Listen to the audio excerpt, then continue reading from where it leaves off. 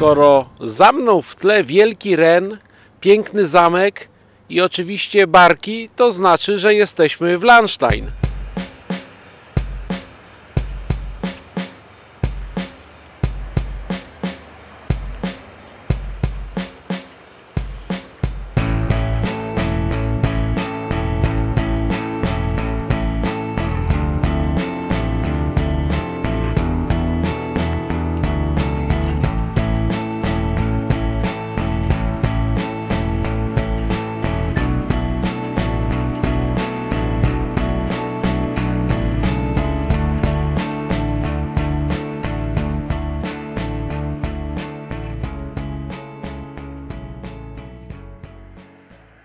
Piątek od godzin popołudniowych trwały przygotowania do wystawy. Sobota, godzina 10, start. Kasę tradycyjnie uruchomiono nieco wcześniej, aby uniknąć kłopotliwych kolejek. Do południa można było jeszcze dość swobodnie oglądać makiety, ale widzów z każdą godziną przybywało. Pojawienie się ekipy telewizji SWR to znak, że imprezę w Landstein można zaliczyć do bardzo ważnych wydarzeń modelarskich. Prezes klubu i jednocześnie główny organizator wystawy powiedział też kilka zdań o naszym udziale w tej imprezie. Wir freuen uns, dass Sie aus Polen hier angereist sind zu den 14 Cieszymy się bardzo z odwiedzin naszych gości z Polski na 14. Międzynarodowej wystawie makiet kolejowych w Landstein. Nie jest to Państwa pierwszy udział. Zawsze przyjeżdżacie z nowymi, ciekawymi nowinkami, za co jesteśmy Wam bardzo wdzięczni. Cieszymy się również, że co roku realizujecie nowy film o naszej wystawie. Bardzo dziękujemy. W tym roku naszą makietę organizatorzy postanowili ustawić na scenie. Byliśmy zatem niejako ponad wszystkimi innymi prezentacjami. Nasza czteroosobowa ekipa w składzie Leszek, Sebastian, Małgorzata i Monika demonstrowała znany układ modułów pod nazwą Z Lewina Leskiego do Bożego Pola Mazurskiego. Zawitała do nas także telewizja SWR. Oglądających nie brakowało. Byli również jak zawsze fotografujący i filmujący. Popatrzmy jednak nie na Lewin i Boże Pole, lecz na inne makiety zaprezentowane w tym roku w Landstein. Francuscy modelarze z reguły pokazują piękne prace. Nie inaczej było i tym razem. Jeanneville to piękna, niewielka makieta wykonana w wielkości 0E. O tym, że to typowy klimat francuskiej prowincji, nie trzeba chyba nikogo przekonywać.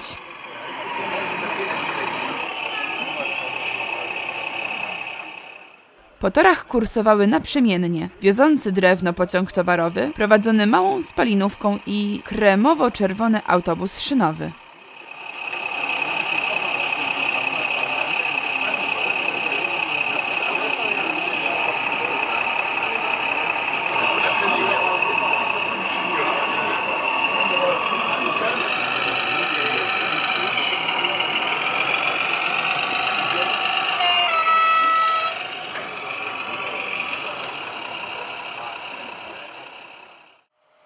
Jean-Pierre'a i jego pracę znamy z poprzednich wystaw. Tym razem przyjechał on do Landstein z modelem małej parowozowni wykonanej wielkości 0.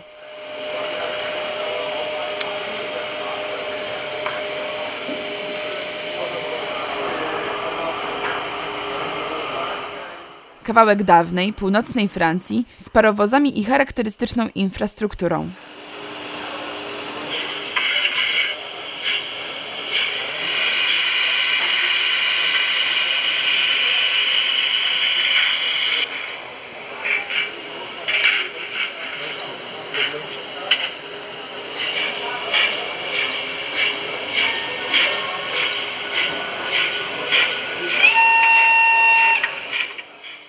Zważywszy na to, że Jean-Pierre wykonuje wszystko ręcznie, należy zapytać, czy to jeszcze modelarskie rzemiosło, czy może już artystyczna sztuka? Eddie jest Belgiem, ale fascynuje go kolej szwajcarska, ta wąskotorowa spod szyldu RHB. Jego model stacji Bernina gościł już na bardzo wielu wystawach. Na stacji można oglądać ruch typowych pociągów retyckiej tysiączki z przełomu lat 80. i 90. XX wieku. Co pewien czas pojawia się także historyczny żółty pociąg retro.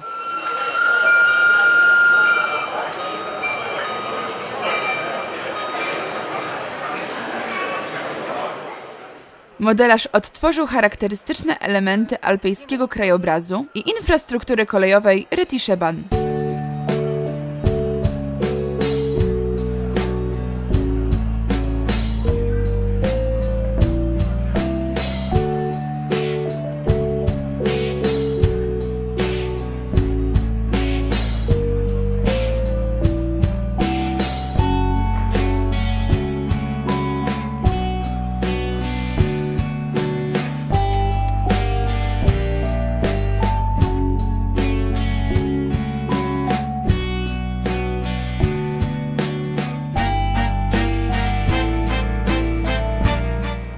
Szwajcaria, tu się oddycha! Chciałoby się powiedzieć, cytując klasyka z polskiego filmu.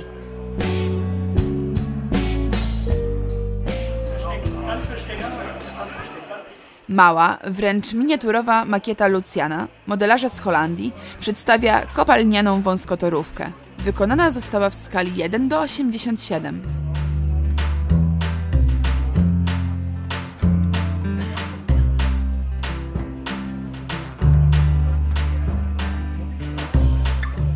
drewniana estakada, przemysłowe budynki z czerwonej cegły,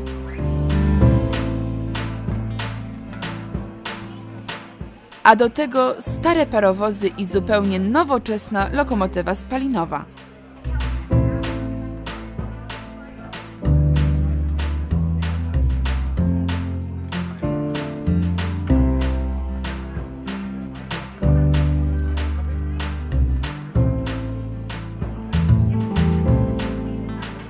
Lucjan nie krył zadowolenia ze swoich dokonań. Kapuściana kolej. Tak chyba należałoby nazwać model wykonany i prezentowany przez Dawida, młodego modelarza z Francji. Z dużym realizmem otworzył on zakład kiszenia kapusty. Kapustę z pól dowozi przemysłowa kolejka wąskotorowa. Stary parowóz obsługiwany przez maszynistkę ciągnie tylko jeden, samowyładowczy wagonik.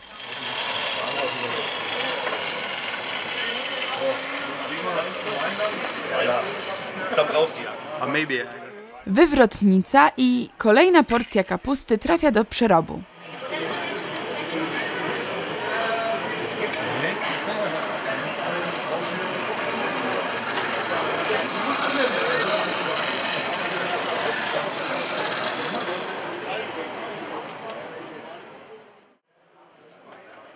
Christophera i jego makiety znamy z wystawy w Sedan.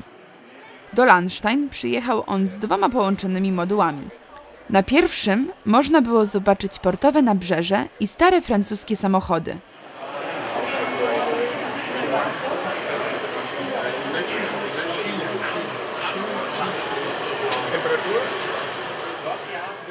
Drugi moduł to Francja od zaplecza.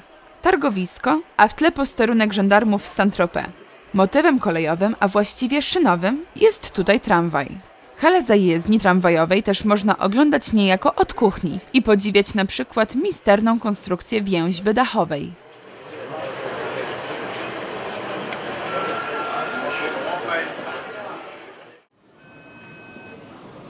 Zimy w Nadrenii są z reguły bezśnieżne, ale trochę prawdziwej zimy było za to na kolejnej makiecie.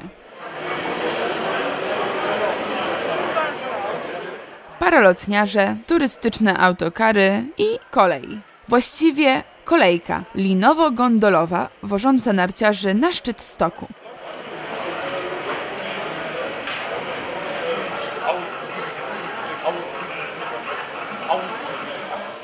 Obok fragment miasteczka, także w zimowej scenerii. A tam wszystko dla turystów. Stragany i karuzela w takiej trochę bajkowej scenerii.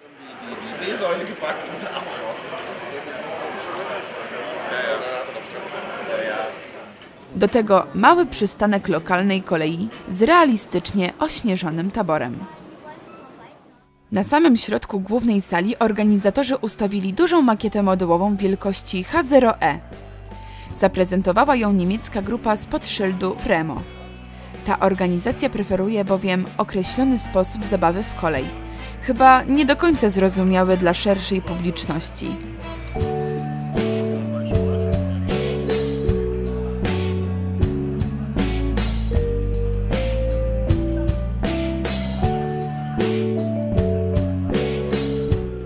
Nam na tej makiecie spodobał się pracujący walec drogowy.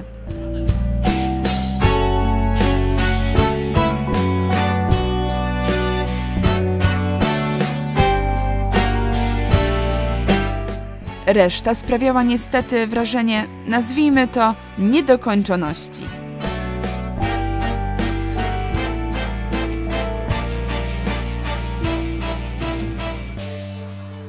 Tak zwanej części konferencyjnej, przylegającej do sali głównej, stanęły dwie makiety.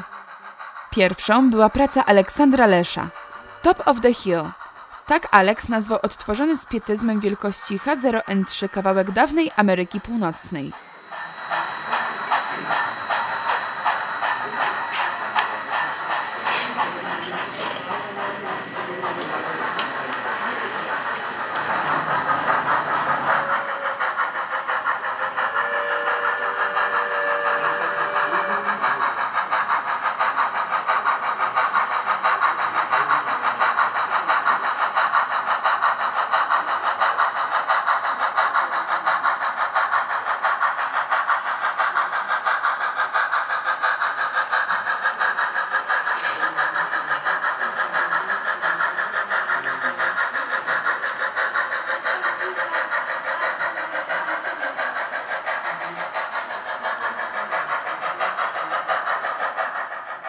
Parowozy z dźwiękiem, drewniana zabudowa, doskonale prowadzony ruch pociągów. U Aleksandra to standard.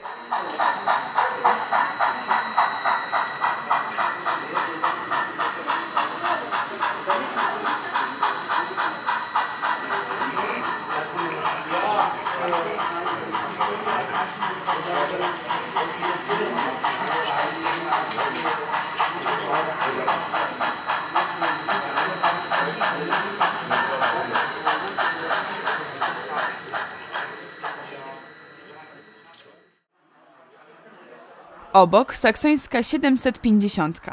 Państwo Ryger odtworzyli w miniaturze fragment wąskotorowej linii kolejowej ze stacją, osadzone w krajobrazie typowym dla tej części Niemiec.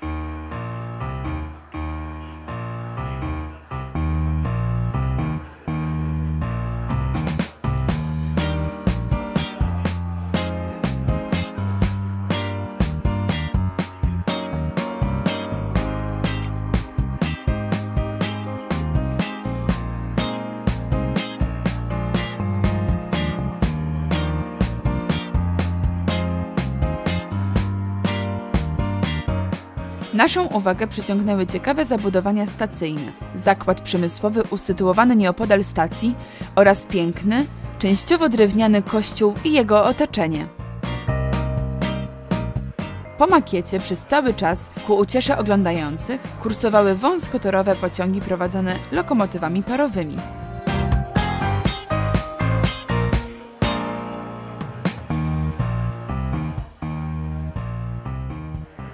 Przestrzenne obrazy Petera były już prezentowane na wielu, wielu wystawach. Holenderski modelarz chętnie pokazuje, w jaki sposób można oszukać głębie.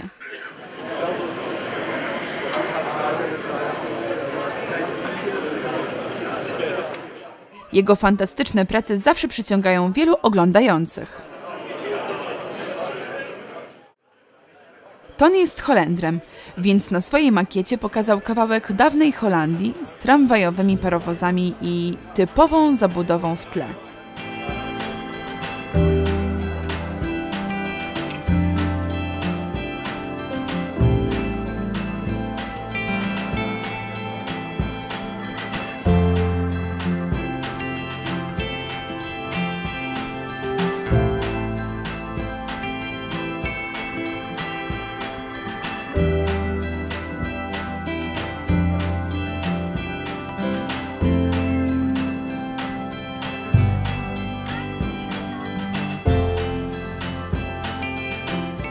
Na makiecie nie mogło zabraknąć zwodzonego mostu i portowego nabrzeża z ruchomym dźwigiem.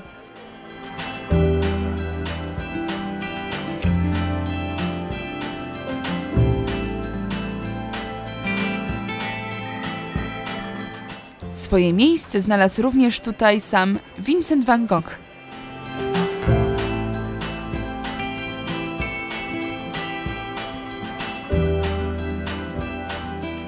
Ta piękna makieta wykonana w wielkości 0E nie tylko nas wprawiła w zachwyt.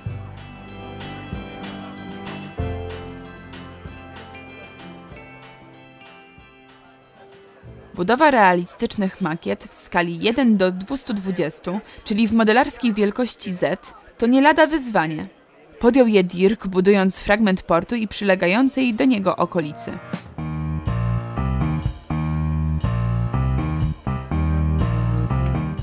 Oglądając tę makietę, aż nie chce się wierzyć, że te wspaniałe odtworzone elementy krajobrazu są malusieńkie, wręcz mikroskopijne.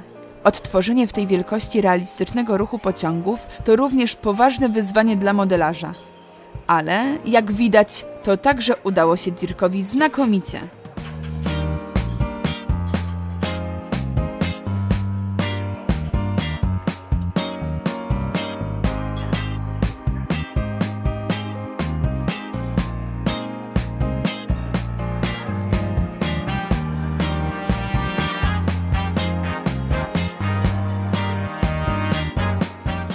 Na drugiej części tej makiety dostrzegliśmy kolejowy pogrzeb. To chyba taki modelarski żart. Natomiast palec Dirka był wsunięty w kadr jak najbardziej na poważnie, aby pokazać, jak maleńkie są jego modelarskie cacka. Tabor na drugiej zetkowej makiecie był jeszcze mniejszy, bo wielkości ZM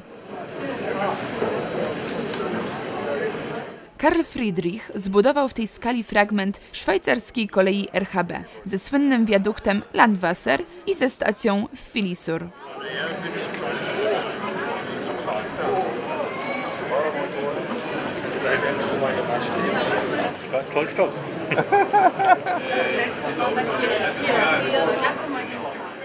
Dobre, realistyczne wykonanie makiety to z pewnością podstawa sukcesu na każdej wystawie.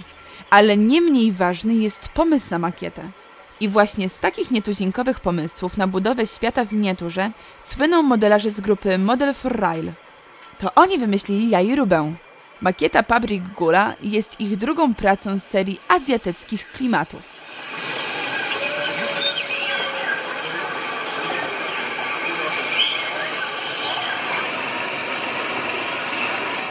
Co ciekawe, do wykonania podstawowych budynków użyte zostały typowe produkty Auchagena, oczywiście odpowiednio przerobione i zwaloryzowane, zaś tabor to świetnie przebudowane zwykłe wyroby firmy Roko.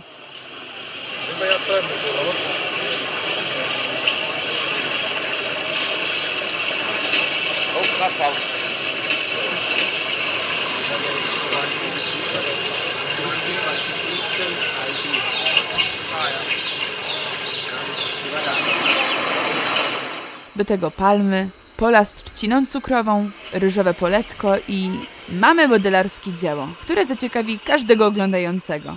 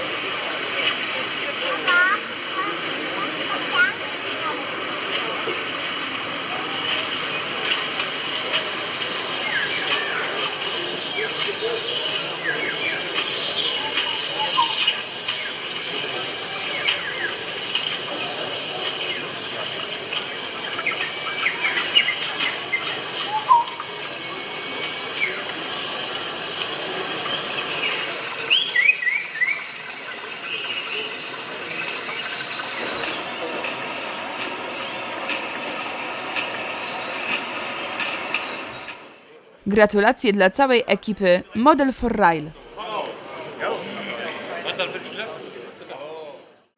Na tak zwanym półpiętrze hali swoje dokonania prezentował miejscowy klub.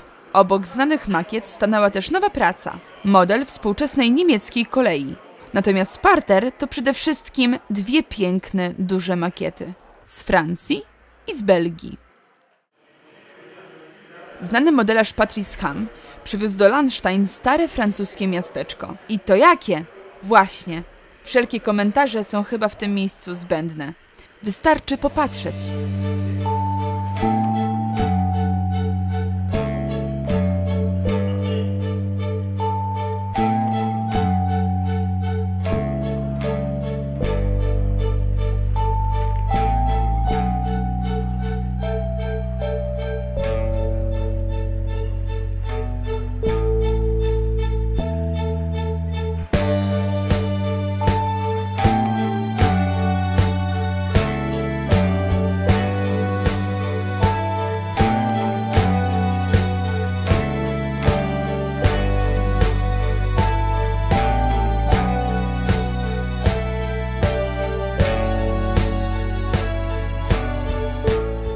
A po ulicach tego miasteczka, pośród starej zabudowy, kursowały przedziwne tramwajopociągi. Takie cuda tylko we Francji.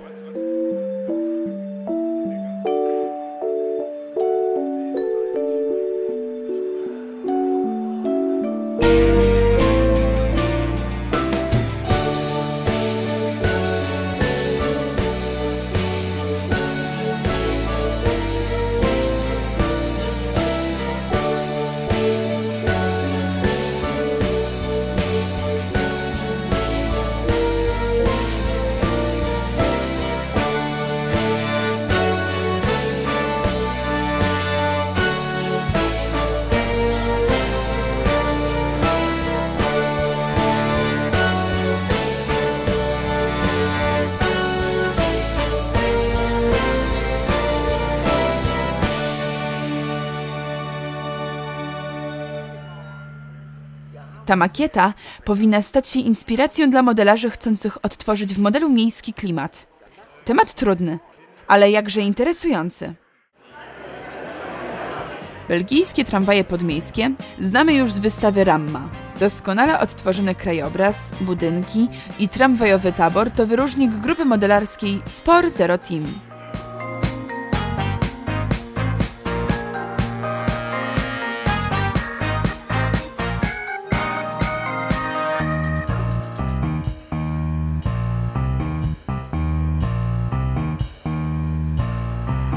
Podczas tej wystawy mieliśmy nieco więcej czasu, aby przyjrzeć się modelom podczas ruchu, a było na co popatrzeć. Wszystkie wozy tramwajowe wyposażone zostały w realistyczny dźwięk.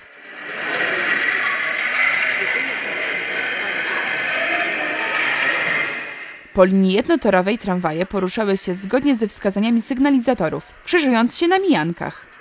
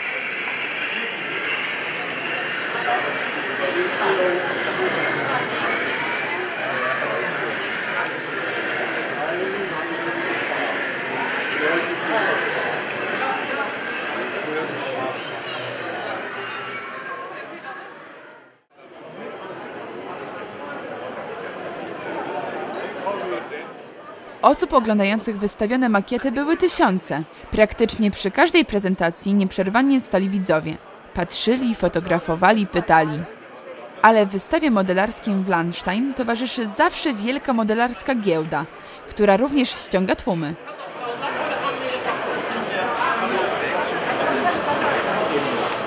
W sobotnie południe ludzi było tyle, że poruszanie się po hali stało się praktycznie niemożliwe. Na szczęście obiadowa pora sprawiła, że ilość osób nieco zmalała i znów można było oglądać, fotografować i kupować. Oprócz sprzedawców giełdowych, zawsze obecni są także małoseryjni producenci modeli i akcesoriów modelarskich. Dostrzegliśmy Ronalda Schneppa, francuskiego speca od zieleni, Petera Wertera ze swoim warsztatem do tworzenia elementów z drewna oraz pana Kriegera, mistrza fototrawionych wyrobów metalowych.